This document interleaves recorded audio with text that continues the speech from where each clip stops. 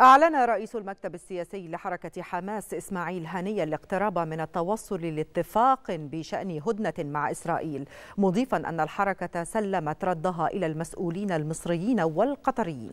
وأوضحت مصادر مطلعة على المفاوضات أن الصفقة تتضمن هدنة لخمسة أيام تشمل وقفا لإطلاق النار والأعمال القتالية ووقفا تاما لتحليق طيران الاحتلال الإسرائيلي في سماء قطاع غزة باستثناء مناطق الشمال التي سيتوقف تحليق الطيران فيها لمدة ست ساعات فقط.